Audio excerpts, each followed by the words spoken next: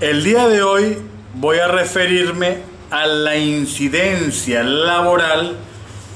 en el ámbito existencial del común denominador, la cual se encuentra matizada por diversas vertientes que contribuyen a que la misma en estos momentos se haga desigual en el caso de nuestro país Venezuela, ya que motivado a la crisis económica por la cual está atravesando, no cumple a cabalidad o no se cumple a cabalidad la norma de la dualidad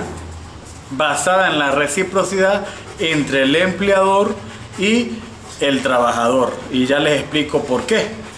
En primer lugar, tenemos que eh, observar que al final de la quincena o del mes, lo lógico implica que ese trabajador que está dedicando 8 días, al, 8 horas diarias, efectuando un trabajo eh, remunerado, bien sea un ente público o privado, tiene que tener,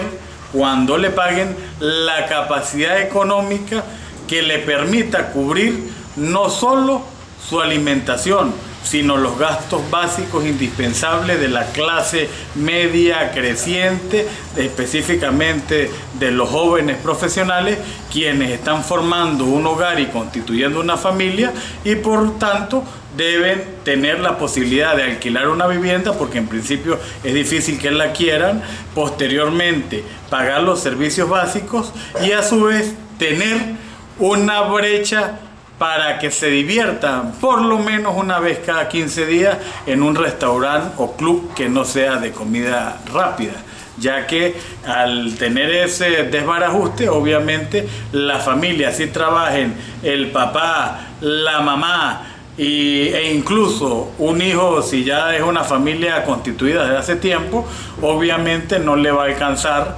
eh, para cubrir los requerimientos existenciales básicos en este ámbito, ya que eh, vemos con enorme preocupación cómo un gran porcentaje de los venezolanos no pueden ir al mercado y hacer un, un, mercado abundante, primero por la escasez y segundo porque la capacidad económica no le va a alcanzar. Entonces es una contradicción que en Venezuela alguien trabaje pero con mucha gana, con mucho esfuerzo y ese salario que le pagan no les alcance ni siquiera para cubrir el alimento trastocando la esencia funcional de lo que debe ser el deber ser, ya que lo lógico es que se trabaje, se divierta y se mantenga el equilibrio de la salud con la familia y los amigos. Finalmente, en la próxima oportunidad me voy a referir al excelente trabajo que realizan los funcionarios públicos y a la deficiente remuneración que tienen en base a las incidencias mencionadas anteriormente en este segmento. Hasta la próxima.